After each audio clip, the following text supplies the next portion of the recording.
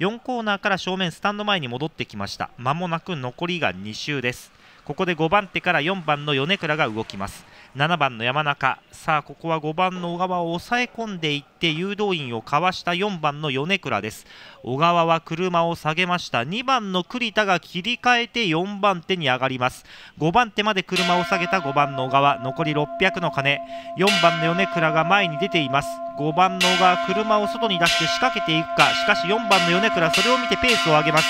4コーナーからホームストレッチ間もなく残りが1周4番の米倉の先行後方から5番の小川の巻き返し3番手外まで上がってきたじわじわと前に迫ろうというところ2コーナーからバックストレッチ4番の米倉先頭2番手横まで5番の小川5番の小川が4番の米倉に並んでこようというところだが4番の米倉も抵抗5番の小川は苦しくなって交代4コーナーから直線4番の米倉先頭2番手から7番の山中追ってくる4番の米倉7番の山中さらには3番の山口も突っ込ん Ronda